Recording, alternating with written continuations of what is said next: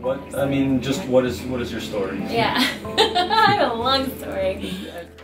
My name is Cristiane. I'm from Brazil. I'm a doctor by training, physician, and I've through my whole life, my mission has been to empower and connect people.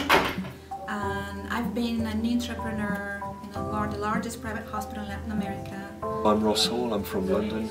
I'm the founder of the Better World programme, which aims to empower young people to make the world a better place. I was the founder and CEO of an organization called Builders of Hope. We rescued houses that were slated for demolition, physically relocated them, and built entirely new communities and disinvested neighborhoods wholly comprised of these recycled homes.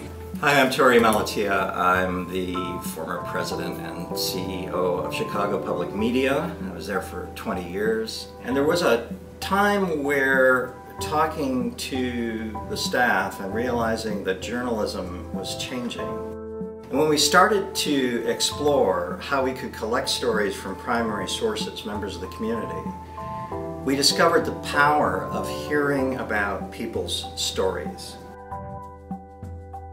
I was at a point in my career where I felt that I wanted to be able to broaden the impact that I was having. I see the program that I've developed, the Better World program, mm -hmm. as an intervention.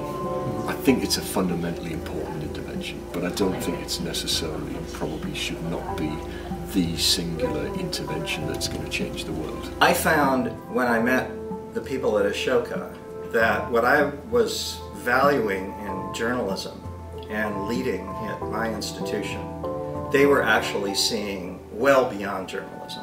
So it's about seeing your mission in a much higher level. It's really intriguing as an entrepreneur to have such a large playing field and to realize that because of the learning and the training that I've had, I now have an invitation to have this amazing impact. I'm building on what I've been doing through Ashoka and I'm having a much bigger impact than I would have otherwise. Real satisfaction comes in knowing that was rehearsal for what's about to happen because what you can contribute to a Ashoka is something that is electric.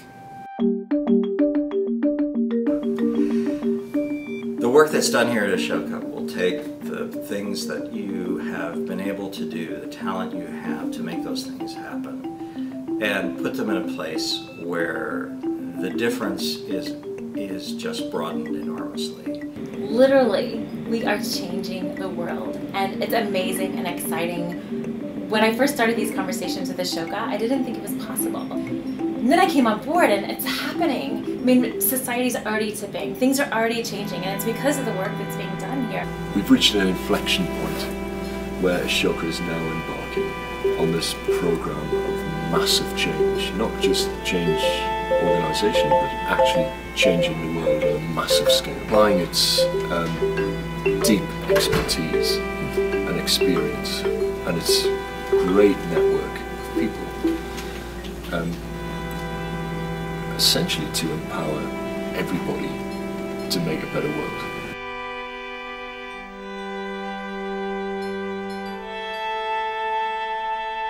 You just think that whatever happened was enough? I mean, I can't imagine that that would be satisfying. Um, if that was rehearsal, what's preventing you from going on stage right now?